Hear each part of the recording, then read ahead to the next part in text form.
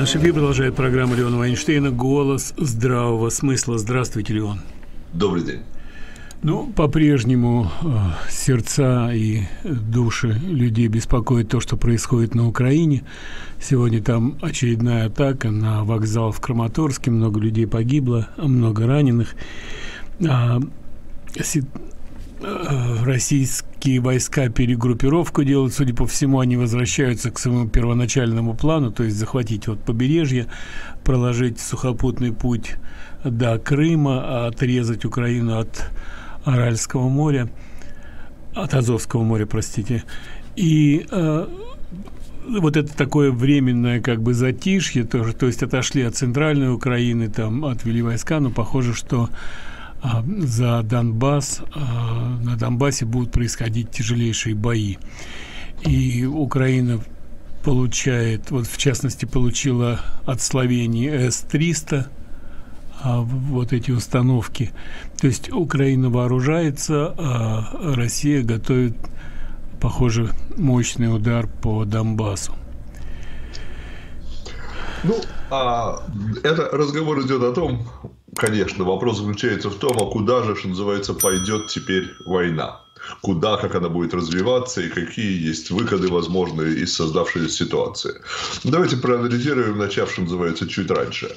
А мы все, под все я имею в виду, ну, там, все известные знакомые мне аналитики, а, предсказатели будущего, да, а, все те, кто думал что нужно России, как она будет этого э, достигать и тому подобное, говорили о том, что вот э, сначала начнут пугать, э, что есть сговор некий между Байденом и, и Путиным. У нас нет стопроцентных доказательств этому, но по действиям очень похоже, что какая-то договоренность там существует.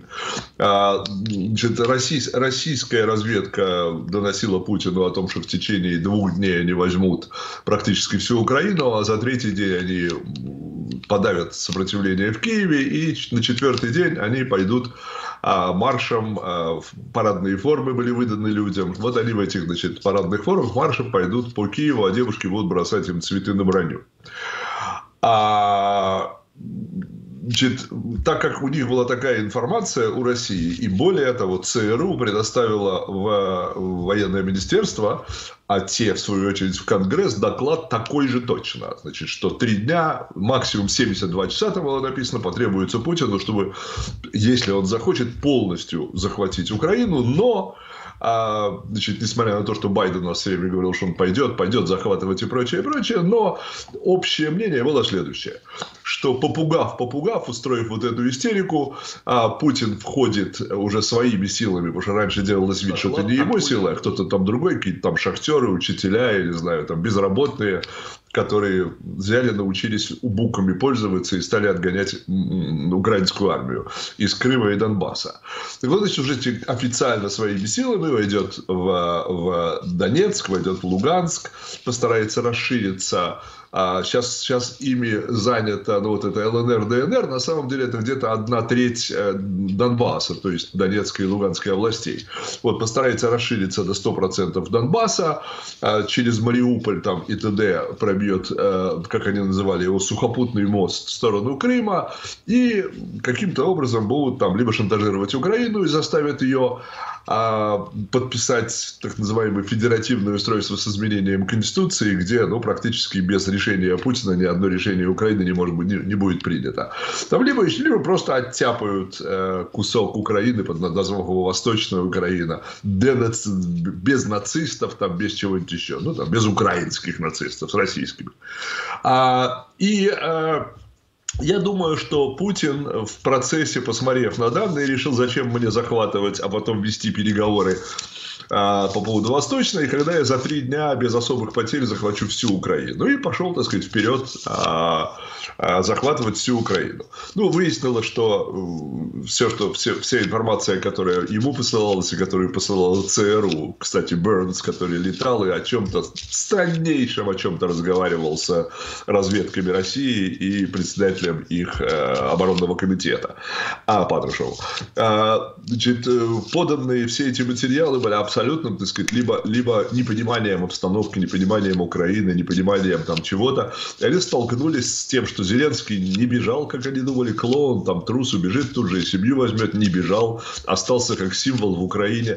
Украинцы сказали, ничего подобного, мы будем защищать, что называется, до последней крови отправили детей, женщин, стариков а подальше, кто подальше в сторону, кто вообще за границу, мужики остались там, взяли оружие и пошли, что называется, бороться с врагом. А армия, в отличие от предположений, что там несколько генералов просто как только Россия высадится, начнет немедленно сдаваться, эти генералы, так сказать, оружие, как ну, в свое время Власов там, да, при немцах, повернут оружие против а, своей страны, а, арестовали двух генералов, которые в это время были в запасе, и, и так сказать, больше ничего не произошло. То есть и армия, и население, и Зеленский оказались совершенно не теми и не такими, как предполагала Россия, и предполагал Байден, предполагал, так сказать, Конгресс, предполагала разведка э, США, ЦРУ.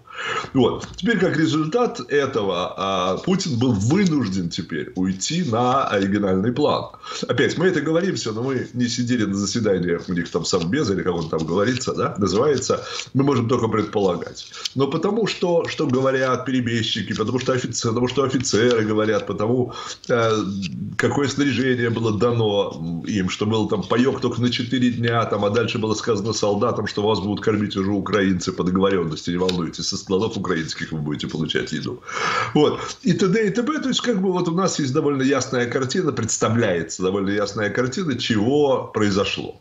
Вот произошло то, что сейчас они пытаются перегруппироваться уже после позора, после, после того, как они поняли, что их армия вообще не мотивирована. Ну, как в 1941 году, когда зашел, так сказать, Гитлер, и армия миллионная, больше миллиона там стояла, побежала, сломя голову неизвестно куда. Вот, попадали в мешки, потому что немцы, так сказать, танками и прочее проходили вперед и оказывались и сзади, и спереди, и слева, и справа от бегущих сотен тысяч советских солдат. Почему бежали? Потому что им защищать, извиняюсь, от своего подонка, э, значит, ради своего подонка защищать от другого подонка совершенно не хотелось. А, сейчас происходит приблизительно то же самое, только еще и солдаты, которые пришли в Украину из России, просто не понимают, что они там делают. Просто. Ну, если так пострелять, там, поубивать там кого-то, а потом проехаться на танке, и девушки тебя будут за это целовать, там, и, и так сказать, и жаркие ясные глаза или там губы. Это прекрасно. А если тебя еще стреляют, зачем мне это нужно? Да? Нас в деревне, э, вот они здесь, как пишут, как пишут и, и, и все время звонят российские солдаты, что, оказывается, они здесь живут значительно лучше, чем мы. Это те, которые из деревень приехали. Ну вот, значит, теперь переходим к самому вопросу, а именно, а Россия передислоцируется, убирает фланги, ну, бежит по-нашему, да, текает, если по, так сказать, не по-нашему, по-украински, а, и старается, так сказать, чтобы фланги не отрубили, не перебили, а сделать так, чтобы это было более, более-менее планомерное отступление, поэтому ввели обратно части, которые убрали в Белоруссию, и пытаются передислоцироваться, параллельно они пытаются сделать как можно больше гадостей, гнусностей, убить как можно больше людей, разрушить как можно больше домов, разрушить как можно больше инфраструктуры, чтобы людей ничего уже не было, нигде жить, нигде работать, ни на чем ездить, ни почему ездить. Вот, вот что называется, не съем, так надкушу было когда-то с Кузащенко сказано, да? А, так вот, и переехать в а, восточную часть, и там теперь давить тот же самый план. Либо а, пытаться оторвать этот кусок, назвать его там Восточной Германией, да, Восточной, там сказать, денацифицированной Украиной, ура, там, да, и которая будет стоять, как я уже сказал, из трех кусков, э, Донбасс, Перешеек, э, Перешеек, я имею в виду, Сухопутный мост и Крым. Либо они, взяв это, станут и начнут требовать у мирового сообщества, ну, требовать, говорить, мы готовы вести переговоры, если э, и уйти, и больше не стрелять, и больше не убивать людей, того больше не делать того ни сего. Если Украина согласится переделать свою конституцию, включить вот эти вот такие области там в качестве э, особых, особого статуса федеративных, которые имеют право влиять на все решения киевского правительства. А я думаю, что Украине это очень не понравится. Думаю, что будут ожесточенные бои. Правда, а, Зеленский уже говорил о том, что, так сказать, жаль, больно и, и практически практически невозможно сказать солдатам украинским, идите теперь отвоевывайте а, сказать, Дон, а, Донецк, Луганск, то есть, так сказать, Донбасс, Мариуполь и прочее у России и погибайте, потому что он говорит, что погибнет очень много людей. А, ну, не знаю, как оно будет происходить, как оно будет а, существовать, но Россия явно совершенно пытается вот, вот эту вот изначальную свою идею сейчас внедрить. Хорошо, Хорошо. тогда перейдем, э, вернемся на нашу грешную землю. Э, ну, скажем, у людей думающих не вызывало никогда сомнения тот факт, не вызывал сомнения тот факт, что э, президент Байден фигура не самостоятельная, что это папет, что он не мало того, что он ничего не может решить, он ничего не понимает, что происходит. Свидетельством тому явилось посещение Белого дома бывшим президентом Обамой. И все стало на свои места, все стало ясно и понятно тем, кто и раньше это понимал. А боюсь, что те, кто голосовал за Обаму, ой, за Байдена и за Обаму, а еще отчасти те, кто ненавидел Трампа, просто голосовал против Трампа, а, они останутся при своем мнении. Я тут недавно наткнулся на интервью Обамы, буквально коротенький ролик – 30 секунд, там 37 секунд, по-моему, 35 секунд. Если вы не против, а, я хотел бы, чтобы вы слышали. Да, конечно. Попробуем. Нет, не получается, не звучит. Не, а, нет, вот. And I, I used to say, you know what, if, if I could make an arrangement where um, I had a, I had a, a stand-in, a front man or front woman, and, and they had an earpiece in, and I was just in my basement in my sweats, mm-hmm. looking through the stuff, and then I could sort of deliver the lines, but somebody else was uh, doing all the talking and ceremony. Wow. I, I'd be fine with that. То есть речь, речь идет о том, что он, э, я бы сидел где-то в бейсменте, вот там человек бы стоял у микрофона э, с, э, с маленьким наушником. Я, я, я бы говорил, что говорить, а этот человек просто бы озвучивал а, мои слова. Да, да, да. И он был бы с этим, так сказать, вполне себе... А а все бы это знали и уже воспринимали это как слова настоящего лидера, а не подсунутого. Да. Вот. Ну и, конечно же, вот эта ситуация, которая была с визитом Обамы, а, когда... Я вот хочу описать ее тем, кто, может быть, ее не видел. А, несколько дней тому назад а, Обама первый раз после, наверное, так сказать, там, того, как Байден стал официально президентом, он приехал в Белый дом, и не просто приехал в Белый дом, а это как была встреча со всеми там всякими важными людьми в демократической партии, э, ну и вообще, так сказать, ну, встречались с ним больше демократы, я думаю, там были и республиканцы где-то тоже. А, и вот, значит, зашел Обама, который сейчас не президент, у него никакой власти нету, и зашел рядом с ним идущий э, президент Соединенных Штатов Америки. Ну, как бы должно было быть так. Вот президент – это президент, поэтому все вытягиваются в струнку и хотят пожать ему руку, сказать слово и что-то о него услышать. А Обама – любимый символ там и прочее, прочее. Но, ну, так сказать, он чуть-чуть меньше э, магнит, чем, чем президент. Ну, либо, ну, хорошо, одинаково. Да? Произошло следующее. Пришел Обама. И вот мы видим, к нему тянутся руки. Кто-то с ним здоровается за руку, кто-то обнимается, кто-то пытается поцеловаться. А рядом стоит совершенно потерянный президент Соединенных Штатов Америки с растерянной улыбкой на лице. К нему подходит какая-то женщина. Ну, думаю, что кто-то тоже из деталис. Я не знаю, кто это был. Просто не могу вспомнить сейчас. И что-то ему говорит. Он кивает ей головой, поворачивается к Обаме, стучит его по плечу. Обама мельком на него смотрит, не обращает никакого внимания. Он снова стучит его по плечу. Он берет его за плечо. Байден, президент США, берет бывшего президента и трясет, что, мол, обернись. Тот сдергивает, так сказать, плечом э, руку, но потом, так сказать, понимает, что это неправильно, оборачивается, что-то говорит, улыбается, говорит ты женщине что-то, и поворачивается обратно, а Байден уходит из толпы и начинает камеру за ним ведет, он президент, и он начинает бродить один. И что-то он смотрит наверх, влево. Никто к нему не подходит. У него на лице растерянное выражение. Он не понимает, что сейчас делать. И вот долго-долго, а он в, в этой толпа, все разговаривают друг с другом. На него не обращают вообще никакого внимания. Ну, помните, когда Трамп, скажем, тот же, тот же, тот же Обама, JFK, э, не знаю, любой президент, Реган, а, Рональд Рейган, заходили в Конгресс. Да, овации, народ руку тянул, э, хлопал, кричал что-то там, показывал большие пальцы, там, кто-то наоборот палец вниз показывал, да? но не важно. Это пришел президент, это пришел человек, который во главе администрации нашей страны.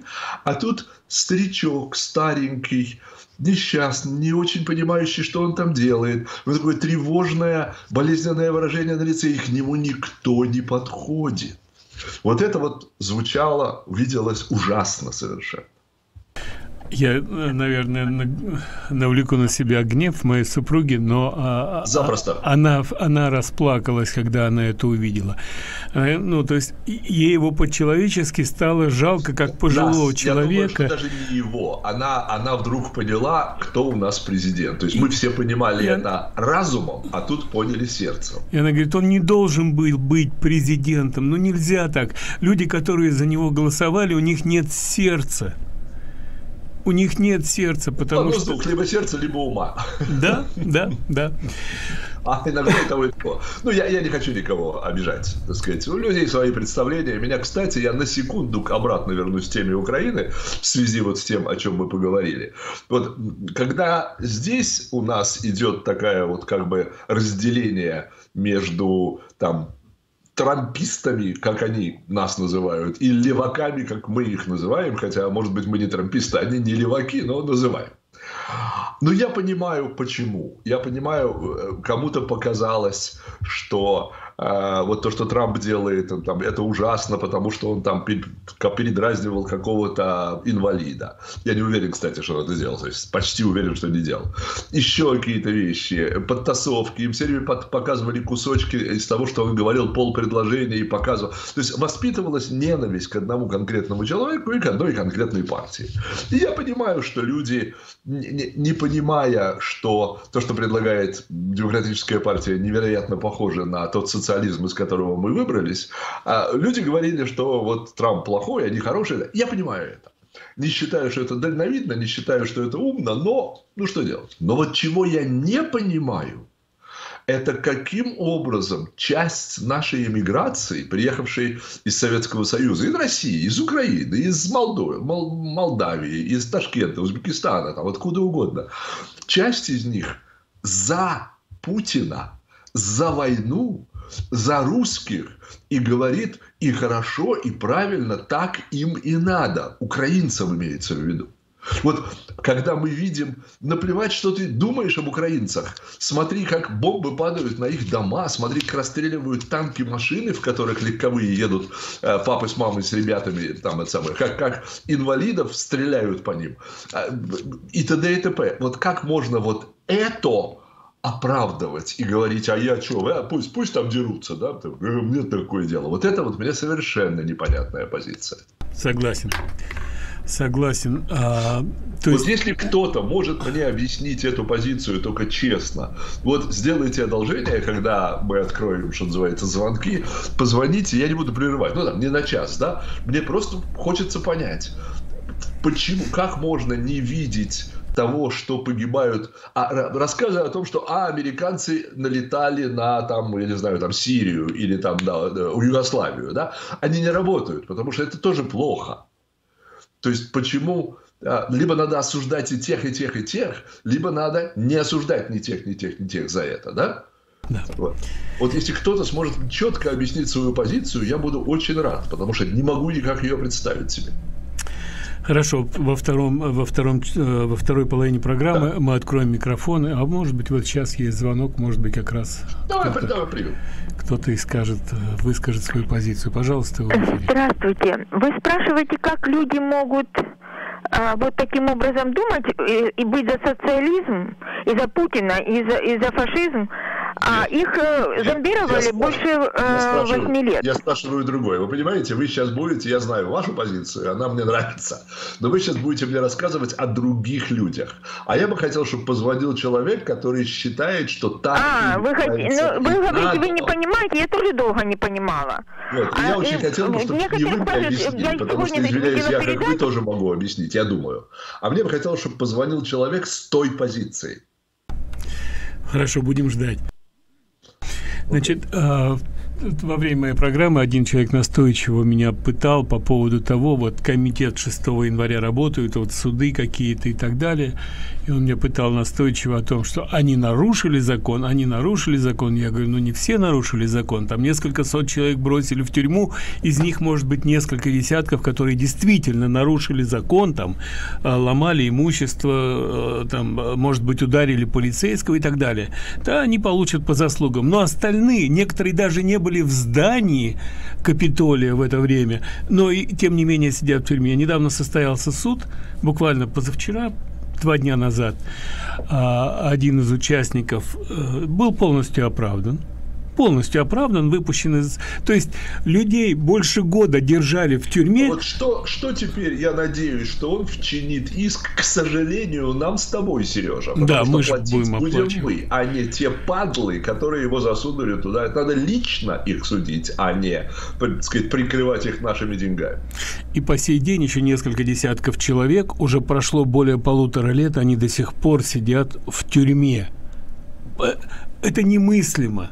Это в нарушение всех традиций американских законов. Люди сидят в тюрьме, их не выпускают под залог, им отказывают в, нормальных, так сказать, правах, которые даже заключенные, которыми должны обладать.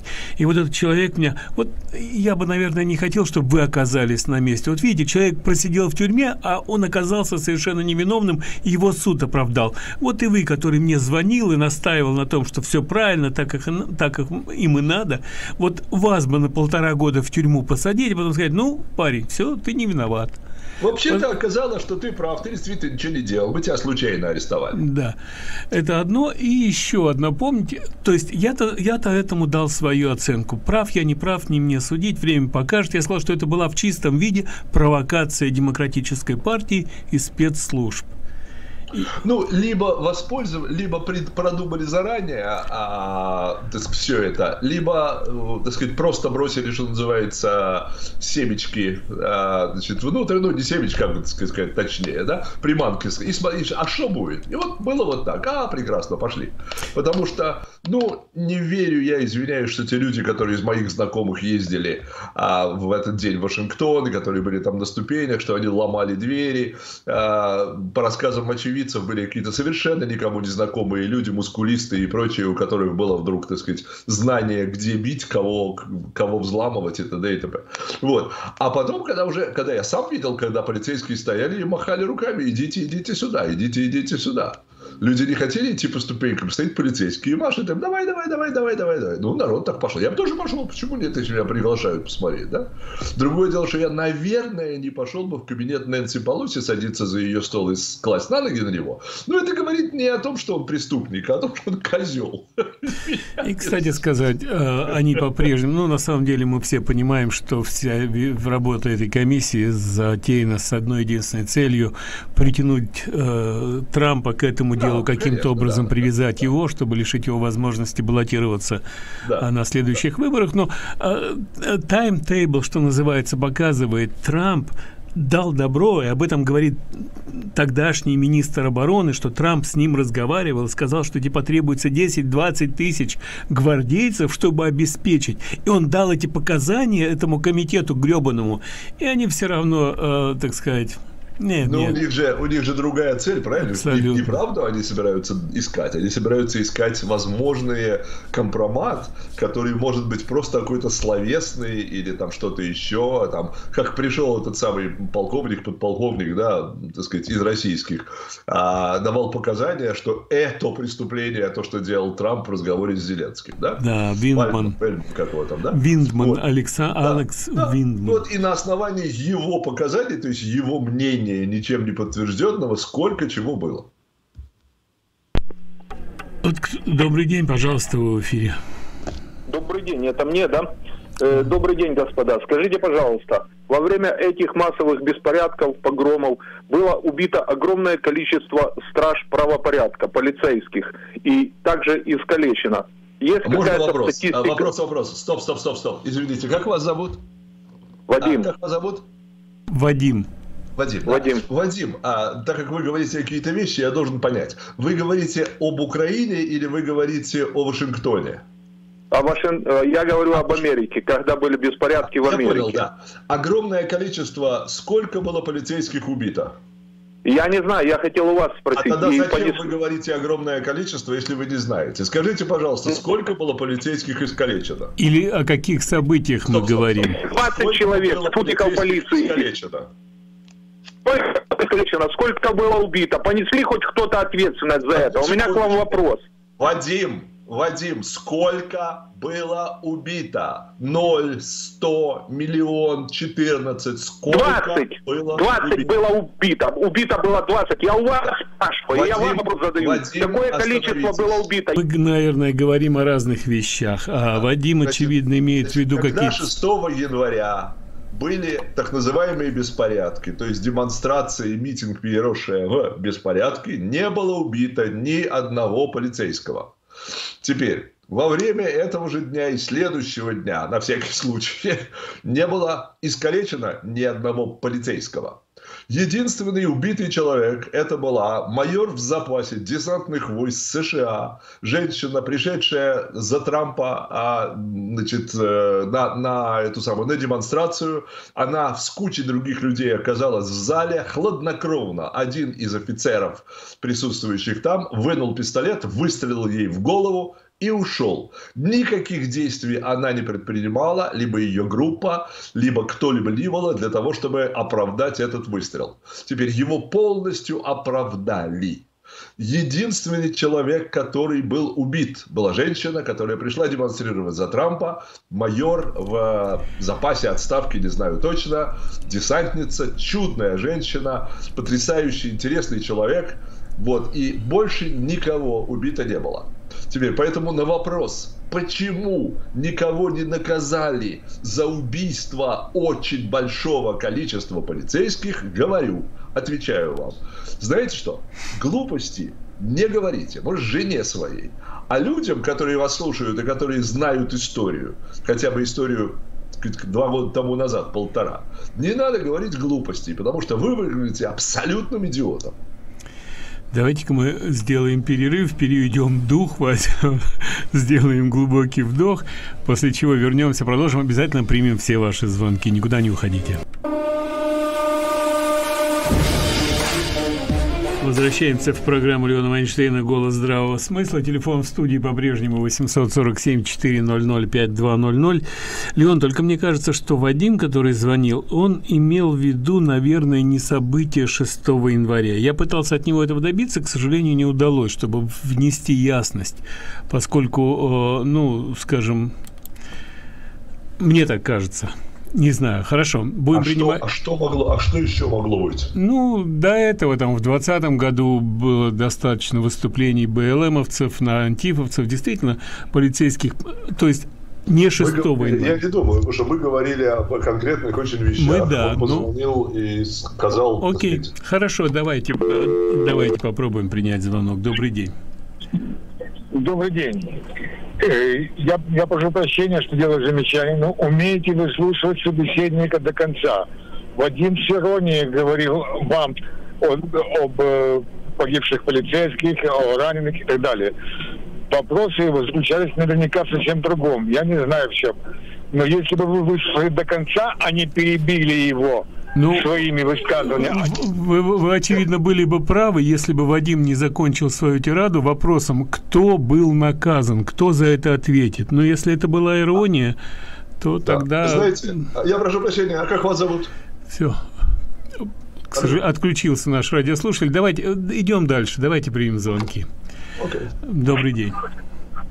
Алло, здравствуйте. здравствуйте. Э, мне кажется, что Вадим имел в виду Техас 2020 года, когда БЛМ и Антифа убили фактически ну, шесть. Там пять человек сразу, полицейских. пять полицейских да. сразу застрелили. Вот, а у меня вопрос в другом. Э, вот на днях, как известно, умер Жириновский, и в Фейсбуке и в других э, интернетах вот появились видео о том, что он, ну, как глашатый, э, высказывал желания Путина и которых впоследствии Путин фактически осуществлял, как захват Крыма, который, о котором говорил в 2007 году э, Жириновский, убийство Немцова и так далее и тому подобное. Но меня интересует совсем другое. И в том же 2007 году э, Жириновский сказал о том, что американцы дождутся того, что их президентом скоро будет черный и исламист. И фактически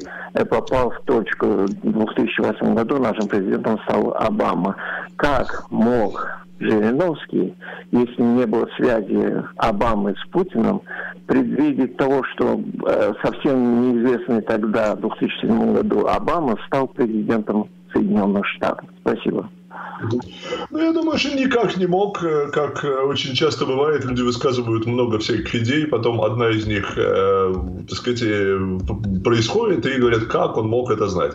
А, вы знаете, никто не знал и не мог знать, потому что все-таки процесс э, выборов, даже когда их пытаются подтасовать, все равно не знают, удастся или не удастся.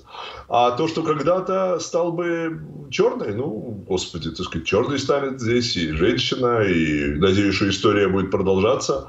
А, правда, так сказать, всякие предсказатели говорили, что у нас будет там 45 президентов и все. А Байдена за президента считать нельзя. Поэтому 45 уже было, что дальше мы не знаем. А, вы знаете, Жириновский умер. А, говорят, что о, об умерших либо ничего, либо правду, да?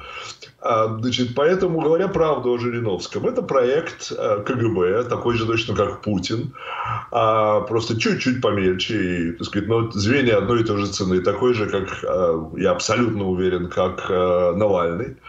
А роль заключалась в том, что нужно безумных, там, бешеных всяких психов и прочее окучивать, и тоже, чтобы они шли в, в партии и в объединения, которые контролируют КГБ, а не в какие-то новые, совершенно психованные, там, которые могут доставить много неприятностей и беспокойства.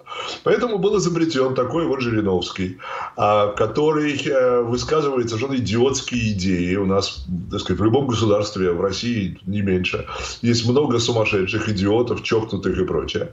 Типа, так сказать, все женщины голосуйте за меня, потому что если я стану во главе этого государства, то у каждой женщины будет по мужику. Вот что, что это значит? Никому не понятно. Но, очевидно, много народу проголосовало, потому что это было проверено на каких-то там деревнях, и народ радостно голосовал. Значит, э, его использовали многими образами. Один из образов своего использования – это высказывание в его манере, в которой, ну, нельзя сказать, что это государство высказывает. Но вот такой вот псих, такой вот клоун. Он, кстати, очень умный человек и очень соображающий. Создавший себе вот такую вот персону, такого, так сказать, клоуна, а, я не знаю, с ножом или с плеткой. И он высказывает идеи, идеи проверяются на то, как публика реагирует. Если публика реагирует там хорошо или брать, они тестируются еще другими образом. То есть он был одним из тестирующих. Кроме того, он приводил каждый раз, когда нужно было, а не по мелочам, он приводил определенный электорат голосовать за любые идеи, которые КГБ, ну там ФСБ называйте его, если хотите сейчас, оно хотело пробивать. Вот и все. Точно так же у «Эхо Москвы» была своя роль, у, у Латыниной знала она или об этом или нет, была своя роль. Это достаточно хорошо разыгранный спектакль. Как только какие-то звенья переставали играть э, в этом спектакле, то их либо физически уничтожали, либо выдавливали за границу, либо делали так, что они не могли больше доходить до зрителей, читателей и тому подобное. 847-400-5200, телефон нашей студии, примем звонки. Добрый день, пожалуйста, в эфире. Добрый. Добрый. Алло. Алло. Алло. Да. Слушаем. Вопрос. Слушаем. Можно вас. вопрос задать? Пожалуйста. Меня интересует статистика, когда было погибших, было Так. раненых, потому что Леон пожалуйста, мы ничего не понимаем. Вам вы нужно перезвонить, потому что, к сожалению, прерывается связь. Э, Это технические проблемы. Плохая чисто. линия просто. Перезвоните, да. А, вот, так вот, я, я сегодня уже говорил о том, что... А вот опять звонок. Добрый день. Здравствуйте. Здрасте. А, Хотела спросить э, вопрос э, товарища, я не знаю, как вас зовут. А, Когда вы приехали в Америку? В каком году? А, я уехал из Союза Советских Социалистических Республик в 1973 году. А, я оказался в Израиле, прожил там 11 лет, а потом немножко путешествовал по Европе, потом в Нью-Йорке стал делать спектакли, ездил туда-сюда и в Европу, и в Израиль, продолжая ставить спектакли, которые я начал. А в 86-м приехал играть здесь на сцене э, театра, задержался и уже с 86 -го года живу в Калифорнии, США, как постоянный житель. Очень хорошо. А скажите мне, в 73 году, когда вы уезжали, какая была причина иммиграции вашей? А почему я спрашиваю? А, потому я что я уехала... отвечу, в... мне все равно, почему вы спрашиваете. Да, да. Да. А... а я уехала в 79 году, и у нас, как у всех первой миграции, ну, вы были первая миграция, у нас была причина антисемитизм который очень развивался в республиках, советских республиках. А, я сама из Украины. А, и мы уехали оттуда потому что нам все время говорили, езжайте в Израиль. Это, это рассказ или вопрос? Потому что вы сказали, что вы хотите мне задать а, вопрос, а сейчас рассказываете, а, ну, рассказываете. Как бы, нет, я а, вас я спросила понимаю. вопрос, когда вы приехали, и я теперь вам говорю, что я э, думаю. Я понимаю, Спасибо да. за ваш ответ. Хорошо, то есть вы да. хотите не, не спросить меня вопрос, а рассказать рассказ. Да, я вам хочу просто сказать а, причину, надо искать далеко-далеко причину о людей, которые м, как бы Причину ненавидят чего? друг Причину друга чего, до сих пор. А, причину, причину людей э, ненависти друг к другу. Ненависти друг к другу. А, я вам как бы отвечаю на вопрос, который вы задали где-то минут 30-40 назад, а, который говорит, почему, почему люди, которые сюда приехали, требуют э, стоп, войны. Стоп, стоп, стоп, стоп стоп, у нас так не получится, один или другой. Давайте, вы сказали, что теперь я должен понять, потому что ни я, ни слушатели не понимают. Я хочу понять следующее. Вы звоните, чтобы объяснить мне, почему вы за то, чтобы Украину, украинцев, дома, театры, больницы бомбили и убивали, да? Нет, нет, совершенно нет, зачем не вы это. Нет. Я против Зачем войны. вы звоните? Я говорю, я звоню, вы, потому я что... Я просил ответа на конкретный вопрос. А вы мне сейчас будете рассказывать, что в Украине был антисемитизм. Давайте я вам тоже что-то да. расскажу, но вы, Давай. к сожалению, слушать у вас не получается, поэтому вот да, можно, я, я дайте мне досказать. Я просто, Можно я это скажу? Э, Можно я это скажу? Ну, правильную... Спасибо э, большое. Да. Можно я это скажу? Можно? Вперед. Да, прекрасно. Значит, я уехал в 1973 году из Союза Советских Социалистических Республик, потому что у меня было три причины, одна из которых была антисемитизм. Остальные две эту даму не волнуют, поэтому, так сказать, я не буду на нее отвечать. Я хочу сказать, что я время от времени люблю читать книги по истории. Значит, я заметил, что во Франции, начиная с времен Дрейфуса, возник страшный антисемитизм. Евреев избивали, убивали, сажали в тюрьмы, а, лишали имущества, насиловали и тому подобное. И с тех пор, со времен Дрейфуса, Франция считается страшно антисемитской страной. Я заметил, что англичане а, после того, как кончилась Вторая мировая война, расстреливали пассажирские пароходы и лодки, которые пытались прибыть из, в Израиль из концлагерей, когда их освободили. Англичане их расстреливали. А когда а, Гитлер в свое время, в 1933-1934 годах, а, могу ошибаться, в 1936 в 1936 году обратился к Англии с предложением отдать всех своих евреев, перевести в Израиль, то Англия сказала, что она примет 40 тысяч человек в Израиле, потому что тогда был протекторат, Палестина была принадлежала по мандату Англии, а все остальные им совершенно все равно с ними, что произойдет, хоть они подохнут. Значит, итого по совокупности можно сказать, что Англия тоже не совсем чиста, так сказать, от антисемитизма. Поляки антисемиты. Да, правильно, да, так сказать, такие же точно, как украинцы. В Вильнюсе две трети населения а, до войны было еврейское. До того, как туда вошли немецкие войска, это население начало стремительно уменьшаться, потому что местными силами стали убивать, грабить, насиловать евреев. То есть литовцы тоже не очень хорошие ребята, правильно? В России был кошмарный антисемитизм если вы в курсе, погромы, да, Молдавия, Кишинев. Кишиневские погромы стали просто символом, символом того, что происходит плохого в мире. Кстати, возвращаясь к России, российская охранка при царе, чтобы не думали, что при царе Горохе все было хорошо, выпустила книжку, которая называется «Протоколы сионистских, сионских мудрецов», и эта книга стала Библией всех антисемитов на земном шаре. А продолжать я могу про все страны сказать, да? США, когда Рузвельту предложили взять евреев бесплатно из Германии, то мадам Рузвельт Элеонор написала в своем этом самом. Я сказала мужу, ни в коем случае, ими так уже вся Америка провоняла. Жидами имелось в виду. То есть, ну не совсем все хорошо по миру. Поэтому рассказывать мне о том, что у вас долгосрочное, если... поэтому вы думаете, что хорошо, что русские самолеты убивают украинских детей, это подлость. Точка. Какие бы у вас воспоминания не были. Это конкретно к этой женщине и к тем людям, которые исповедуют ту же самую, те же самые взгляды. Ух, и следующий звонок. Добрый день, пожалуйста, в эфире. Добрый день. Извините, пожалуйста, как вы прокомментируете... Вам нужно приглушить радиоприемник, потому что ничего не понять из того, что вы говорите. Ага, сейчас. Как вы прокомментируете тот вариант, что сегодня на Мариуполь, э, э, извините, на Краматорск было совершено нападение российской ракеты .У. И сколько погибло людей. Как вы это прокомментируете? Спасибо. Знаете, комментарий может быть такой. Сволочи, убийцы, а всех их поймать и повесить за то самое место, за детородное, значит, а, которое у них там самое дорогое, что есть в штанах. У военного в брюках есть заветное место. Вот за это заветное место их и повесить. Ну, как я могу еще прокомментировать это? 847-400-5200, телефон нашей студии. У нас еще есть а, минут 7, наверное, времени. Пожалуйста, в эфире. Здравствуйте. Я могу вопрос задать по конфликту России с, с Украиной? Запросто.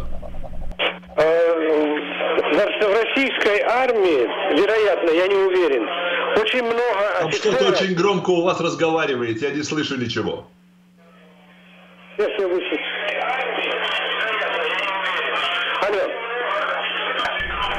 Выключите радиоприемник, О, да, вот пожалуйста. Да. Да, спасибо, в российской армии, э, я не уверен, но, наверное, очень много командного состава составляют украинцы. Как к ним относятся э, в, в российской армии, какова их судьба, если у вас есть какие-то сведения? Спасибо, я послушаю по радио. А вы знаете, что в гитлеровской армии, а поточнее сказать в войсках СД и СС, было порядка 10, даже может быть больше, 11 полковников и генералов еврейского происхождения. Гейдрих, который известен, может быть, там большинству или, может, большинству наших слушателей, был этнический еврей, что, так сказать, ну, никак не мешало ни его друганам, там, Гиммлеру, Геббельсу, Гитлеру, что-то они все на Г у меня, да, там Борману и тому подобное, Канарису, быть с ним в прекрасных дружеских отношениях, ходить на свадьбы его дочерей, а, приглашать его к себе, выпивать и обсуждать самые важные вопросы жизни. Поэтому я не думаю, что в российской армии а, вот они считают, что этнический украинец он обязательно пятая колонна. Хотя я тысячу процентов уверен, что людей с корнями в Украине или с украинскими фамилиями серьезно проверяли на, на вот это самое. Надеемся, что ответили на этот вопрос. Ну и еще минут пять времени у нас есть. Если будут звонки, обязательно э, ага. примем. А вот я сегодня рассказал о том, что одного из обвиняемых в э, событиях 6 января оправдали это не единственный случай. Вы помните эту скандальную историю э, раздутую о том, что э, госпожу Витмер собирались поки похитить, это губернатора штата Мичиган.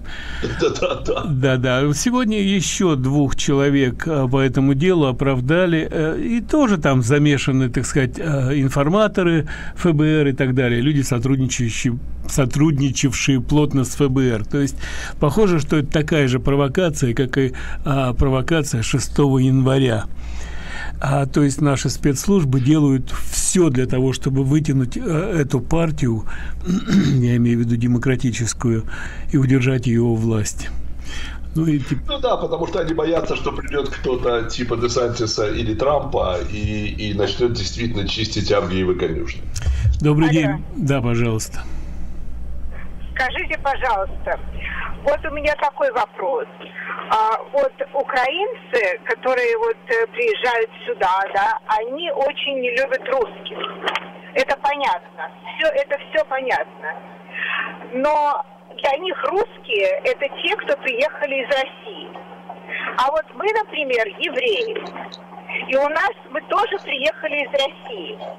И вот у меня такое впечатление, что вот их ненависть к русским, она переносится на всех людей, которые просто приехали из России. Вот как с этим быть? Я послушаю по радио. Спасибо. Спасибо большое. Кстати, интересный вопрос. Не задумывался о нем, но сразу же у меня всякие мысли начали появляться. А, у меня довольно широкий круг общения. А, ну, может быть, этот круг знает мои позиции, и поэтому никак ко мне не относится, кроме как, так сказать, вот я высказываю такие позиции. Но у меня много людей, которые приехали из Украины, много людей, которые приехали из России, кстати, из Кишинева, и оттуда, отсюда, из всяких разных стран.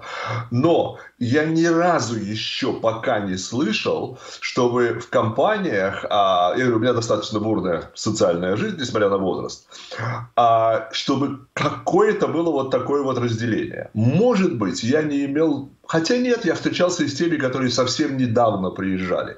Я ни разу не слышал вот этого к русским.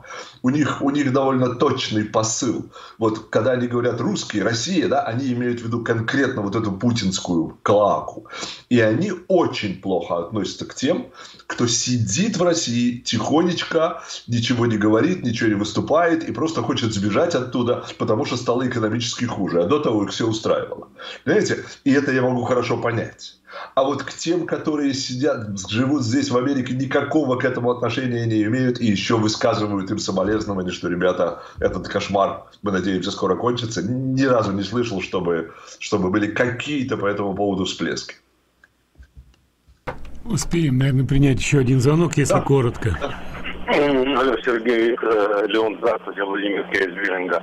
Я просто хочу вас Э, Эшли Бабит была не одна. Еще одну женщину забила Вашингтонская именно, не капитала Вашингтон полис, полицейская, черненькая, очень симпатичная, деревянными брюками по голове. Ее сначала сбила столба, которая рванула из э, подземного тоннеля входного Капитолия, который траванули газом полицейские Капитолия. А потом это уже полицейский, но меня больше с деревянной дубинкой и по голове забила нас. По госпиталю установили, что она не пришла в себя. Ну вот так.